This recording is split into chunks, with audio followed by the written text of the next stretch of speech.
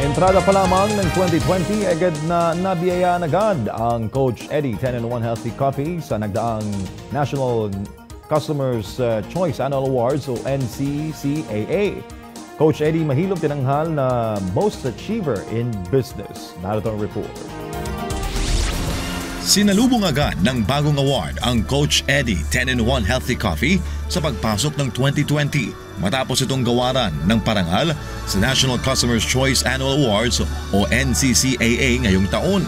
Most Outstanding 10-in-1 Coffee Brand at Most Achiever in Business si Coach Eddie Mahilom kung saan personal itong tinanggap ang award sa Diamond Hotel sa Maynila. Customer satisfaction ang batayan ng NCCAA sa lahat ng nominees. Nakatangi ang taglay ng Coach Eddie 10-in-1 Healthy Coffee. Kailangan masatisfy natin ang mga customer natin sa produkto na yung kanilang binayaran ay value for money.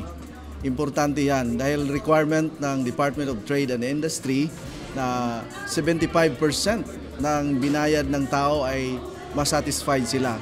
At na-meet natin yun na, na requirement para po ay mahalin at uh, tangkiligin ng mga kababayan natin ang ating uh, produkto. Ayon sa organizers ng NCCAA, world-class ang kalidad ng award-winning coffee na may pagmamalaki nating mga Pilipino. Napakagandang pagkakataon po ito. This is a very uh, big privilege for us na mabigyan po kami ng isang uh, uh, award na kung saan nakakuha ng mataas na satisfaction sa mga customer namin. And this is not just an ordinary event, this is a National Customer at Choice Annual Awards. At malaking event talaga ito. Kaya this is a good marketing tool for all of us na nagtitin, nagpo-promote ng ating produkto.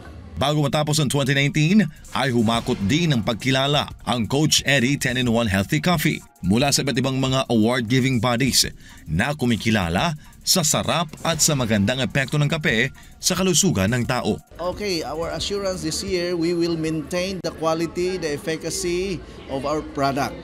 At hindi kayo manghihinayang. At sasabihin ko ulit, stay healthy this year 2020. Nag-uulat, ito si MJ Mondihar, SMNA News.